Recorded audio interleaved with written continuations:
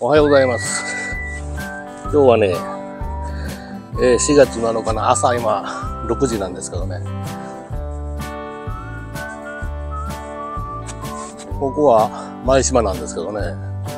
こういうね、綺麗な緑地があるんですよね、前島には。前島もね、もちろん万博と同じくね、この下は廃材でいっぱいです。でもね、土を改良することによって、こういったね、桜が楽しめるようなね、そういう場所に今なってるんですよ。そういうこともね、ちょっと知ってほしいかなと思いますね。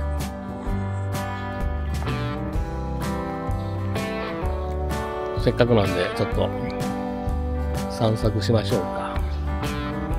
まあ普通にね、桜見たら大体こんな感じに映ると思うんやけどね。先ほどのやつはちょっとね、先ほどというか、これからというか。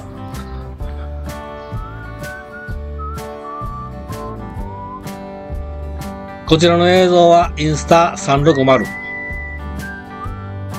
3メートルのね、自撮り棒をつけて三脚に乗せてるんで、4メートルの高さからの映像になります。なかなか面白いよね。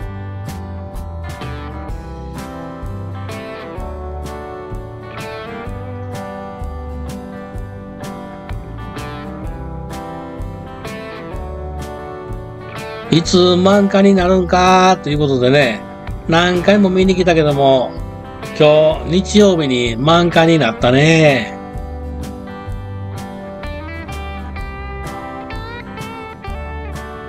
緑棒と三脚姿の不審者なんでね、誰もおらん早朝に撮らんとやっぱしあかんよな。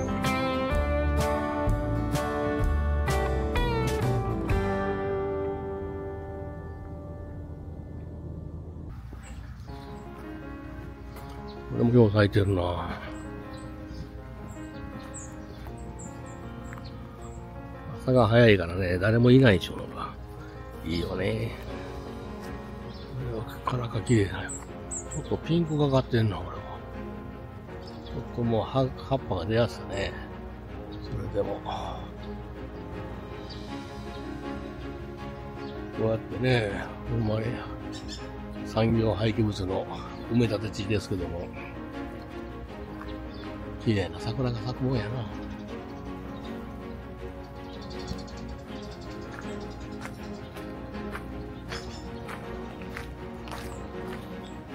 こんなとこなんですよ。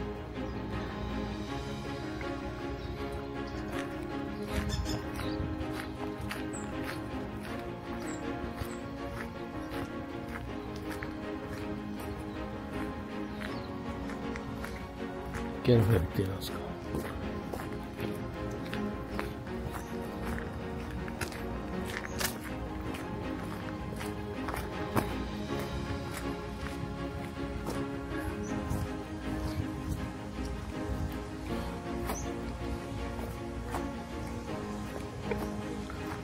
まあ、パッと感じではね、埋め立て地とは思わんけどな。こんなんできるんやな。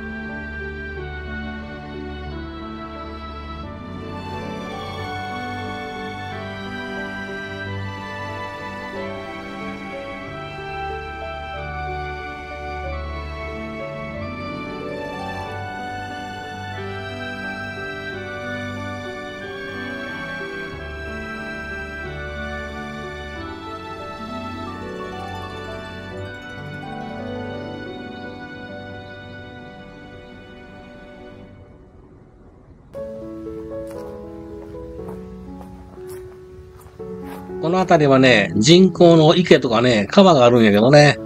昔は噴水もあったんやけどね。これはコロナの時にね、全部もう埋め立ててしまったね。ちょっと今は噴水がなくなってね、残念なんですけどね。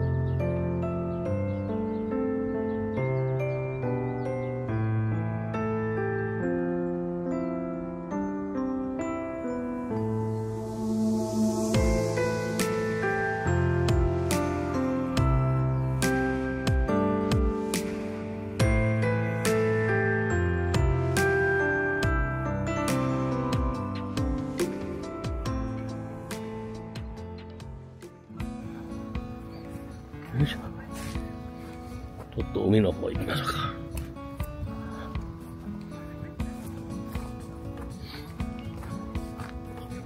下がね、四つ湯と昨日の雨でね、ベタベタなんでね、ちょっと敷物持ってきているのは、ちょっと午前中は辛いかな。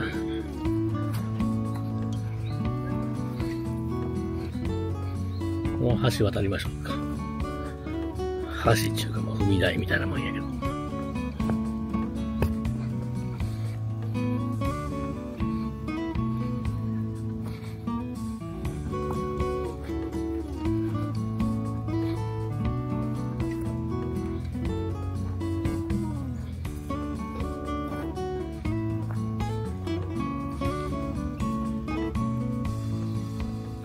まあ、綺麗な。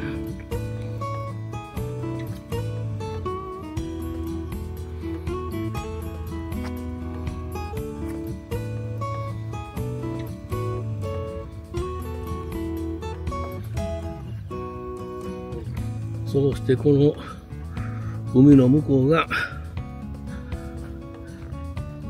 夢島関西万博会場ですね。なんかだいぶできてきてるね。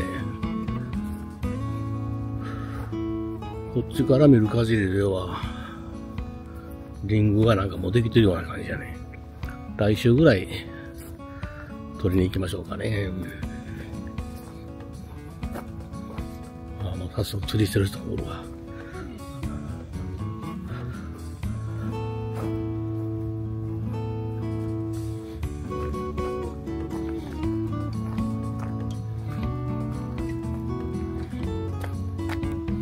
ハンバーグ見えてますよね。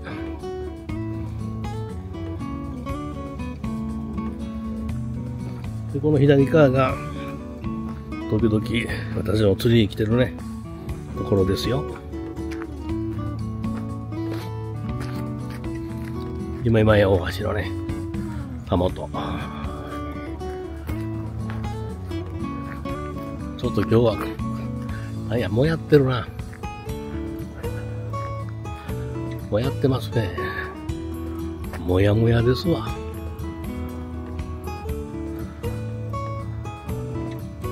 ということで、またお会いしましょう。